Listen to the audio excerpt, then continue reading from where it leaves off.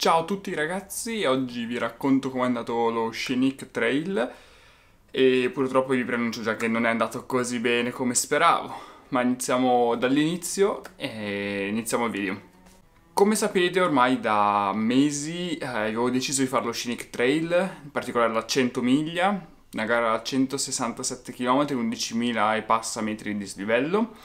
La mattina della partenza, il venerdì, ci presentiamo per il briefing tecnico mezz'ora prima della partenza, alle sette e mezza, e l'organizzatore ci comunica che la gara è stata annullata. La gara è stata annullata per maltempo e in effetti poi il pomeriggio si è scatenato un temporale veramente brutto, ma brutto brutto, che se l'avessimo preso in quota, dove presumibilmente saremmo stati più o meno nell'orario in cui c'è stato il, il temporale, cioè quasi sicuramente ci sarebbe scappato il morto. Quindi applauso all'organizzazione per aver preso questa decisione importante, perché comunque è sempre importante la sicurezza, quindi io sono stato subito a favore, gliel'ho detto anche al tipo di organizzazione ad Aaron, gli ho detto guarda, per me hai fatto bene, mi è dispiaciuto perché comunque è un anno che mi preparavo per quella gara, però la sicurezza non si elemosina mai. Detto ciò, però, fortunatamente l'organizzazione ci ha anche detto se volete potete partecipare alla 120 km che partiva la sera stessa, giusto per non mandarci a casa a mani vuote, ecco. E quindi, vabbè, sei lì cosa fai? Non partecipi? Andiamo a farla a 120 km. Alle 22 di sera a questo punto si parte per la 120 km Pronti via, partiamo. E, innanzitutto il pubblico mi è piaciuto tantissimo perché tanto tanto pubblico. Non sono così abituato perché non faccio gare molto popolari. Preferisco quelle sempre un pochino quelle un po' strane che non conosce nessuno. Quindi quando trovo il pubblico comunque mi, mi piace, sempre molto emozionante. E niente, pronti via, partiamo. Si sale su alla Gola di Lago. Eh, il primo ristoro è Gola di Lago dopo tipo 8 km io però non ho visto il ristoro. Nel senso, siamo, siamo passati via dritti, eh, non ho visto un tavolo con dell'acqua mm, zero.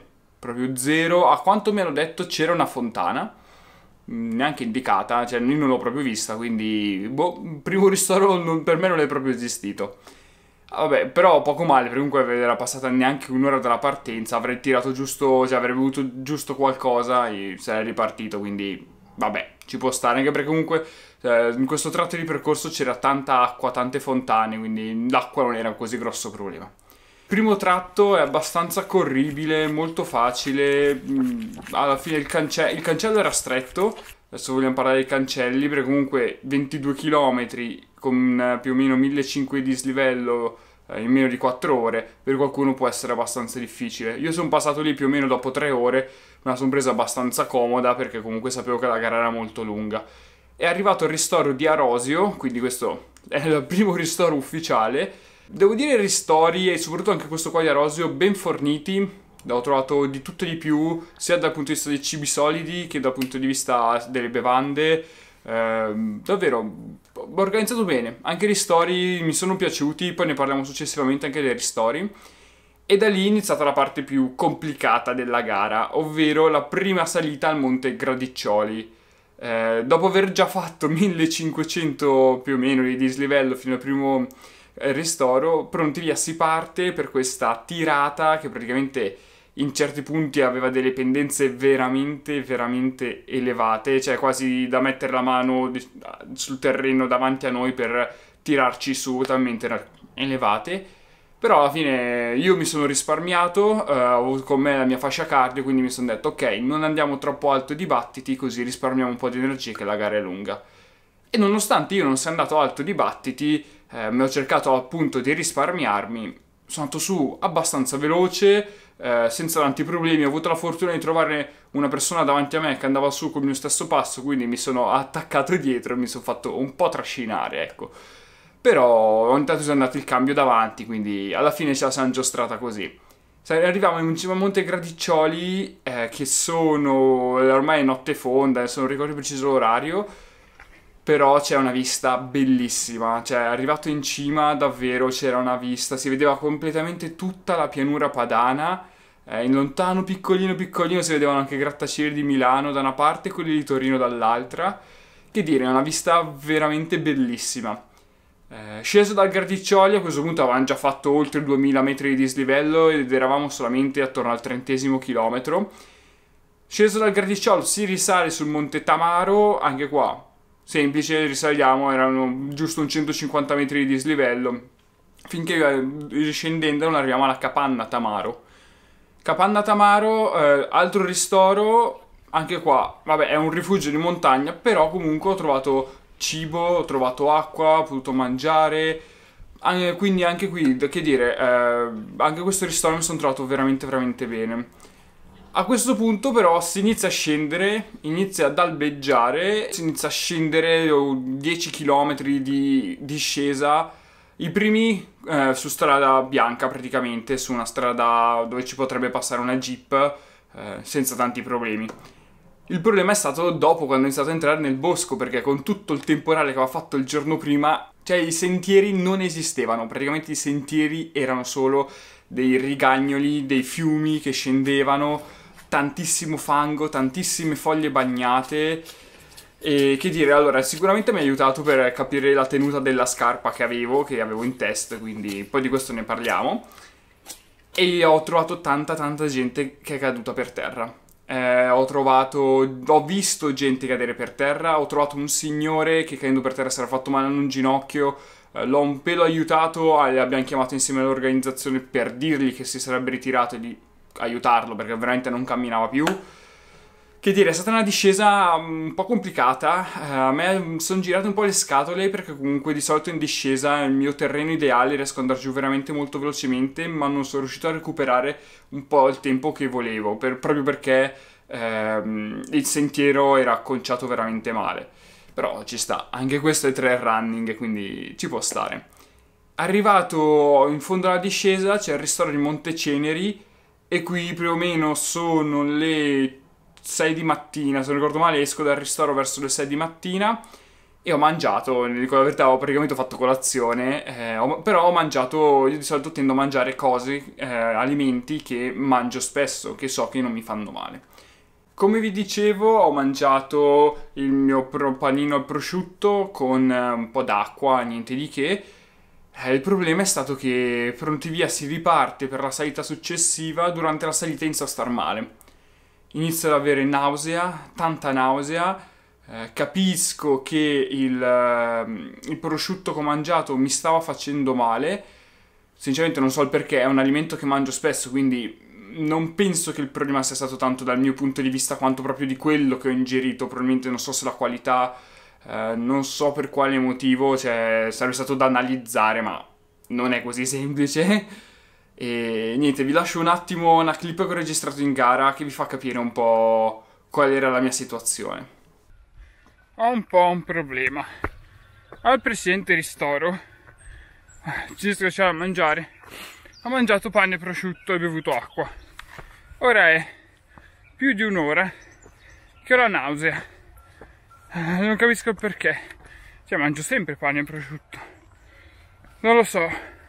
Il problema in tutto ciò è che andando il sangue a confluire nello stomaco per il problema per la digestione non ho più forza nelle gambe proprio allegria niente adesso mi toccano 3 km e mezzo di salita 600 metri di dislivello vediamo un po' come va io prima ero là.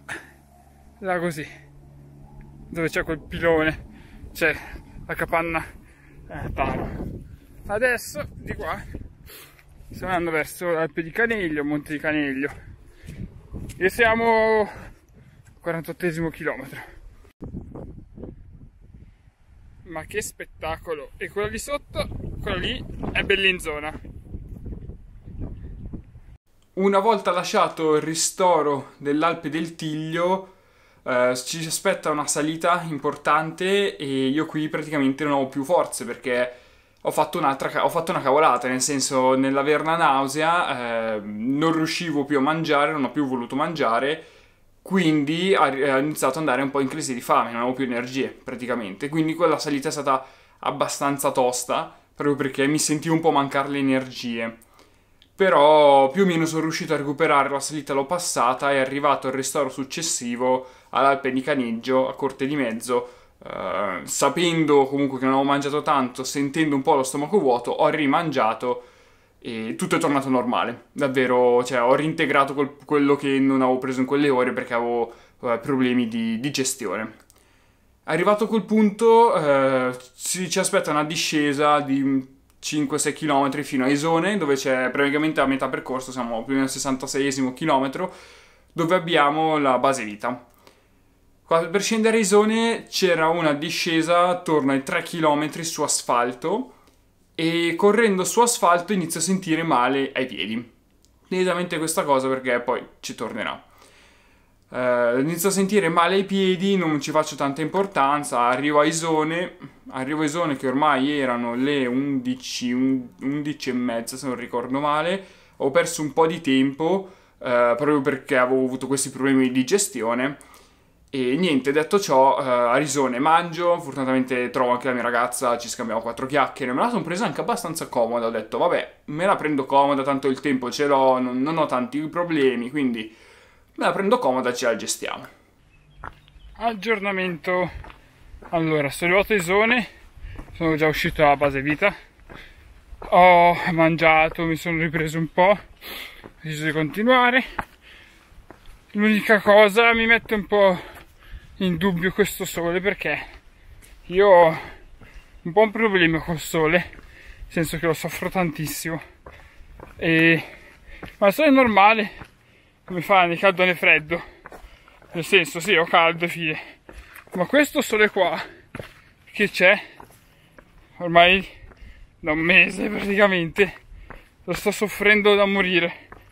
E niente, vediamo un po' come va questo momento mi sto dirigendo verso la capanna d'Avrosio dopodiché da lì deciderò perché da lì poi mi aspettano 12 km in cresta tutti completamente sotto il sole vediamo come vi ho detto nella clip alla fine c'era tanto tanto caldo e il caldo è stato il motivo, uno, il, il motivo, la causa del perché mi sono ritirato. Uh, il problema è stato con le scarpe praticamente poi di questo ne parliamo successivamente in un altro video perché eh, voglio analizzare a fondo quello che è successo. Eh, il caldo mi ha dato dei problemi sulle scarpe e alla fine non riuscivo più a camminare. Cioè, poi ne parliamo bene perché voglio approfondirlo.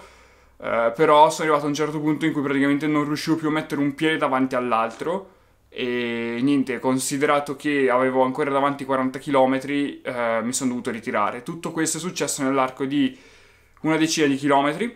Eh, davvero, cioè, in 10 km mi si è complicata completamente la gara e sono arrivato a un punto in cui non camminavo più. Eh, ogni singolo passo non è che mi costava fatica, era proprio sofferenza. Cioè, eh, ma, ma ne riparliamo, ne riparliamo davvero di quello che mi è successo perché è un argomento molto importante di cui preferisco parlare nel video che uscirà nel prossimo video. Detto ciò, comunque, io sono veramente dispiaciuto di quello che è accaduto. Eh, dentro di me ero veramente triste perché comunque la gara stava andando da Dio. Cioè, io la gara l'avrei conclusa sicuramente in meno di 24 ore perché i tempi eh, ve lo stavano giustificando.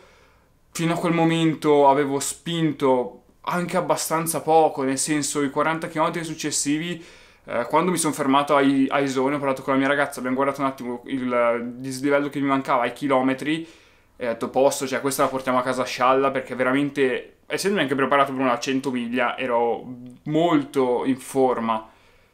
Però purtroppo è arrivato questo problema ai piedi che mi ha costretto a ritirarmi. E questo, cioè, quando stai bene, quando stai bene, quando stai facendo una gara perfetta, quando ti sei gestito bene, quando senti che sei in giornata e poi capitano delle cose che non sono colpa tua, non sono prevedibili, uh, diciamo che la colpa è o del materiale o di qualcos'altro, ti rode. Mi rode davvero tanto essermi dovuto ritirare per questi motivi. Però uh, poi come vi racconterò uh, non potevo fare altro, cioè l'unica opzione era ritirarmi, andare a farmi medicare e fermarmi lì perché non, non avevo altra soluzione e comunque ne, ne parliamo come dicevo nel prossimo video. Detto ciò io alla fine ero veramente triste, davvero veramente veramente triste. Eh, ancora oggi ho, più o meno ho elaborato un po' quello che è successo e sono riuscito a non attribuirmi la colpa, però comunque sono triste perché la gara non l'ho portata a termine, eh, il motivo non era mio perché comunque stavo veramente veramente bene. Eh, non so come andrò un po' avanti con la stagione, nel senso l'obiettivo è sfumato sia per il cattivo tempo che ci ha annullato la gara che per quello che mi è successo. Eh, non, probabilmente adesso pre- mi prenderò un po' di pausa perché comunque in questo momento da luglio in poi, ma già, cioè già da giugno, comunque siamo nel pieno della stagione del trekking e voglio concentrarmi un po' anche su quella parte perché eh, il trekking si fa principalmente d'estate, quindi come dire ho tanto materiale da provare da quel punto di vista. Non so a quali gare mi iscriverò, mi piacerebbe comunque farne una attorno a settembre-ottobre, magari anche qualcos'altro più avanti. Però per il momento mi fermo un attimo, cerco di far riposare anche il corpo, perché comunque sono stati mesi di preparazione veramente molto, molto, molto intensi. E niente, eh, ragazzi, che dire. Io per il momento vi ringrazio di aver guardato questo video. Vi invito a guardare il prossimo perché sarà molto importante. Vi spiegherò nel dettaglio cosa mi è successo e ne parleremo insieme perché eh, voglio capire anche il vostro punto di vista e se quello che è capitato a me magari può essere anche capitato a voi. Quindi per il momento io non posso fare altro che salutarvi e rimandarvi al prossimo video. Ciao!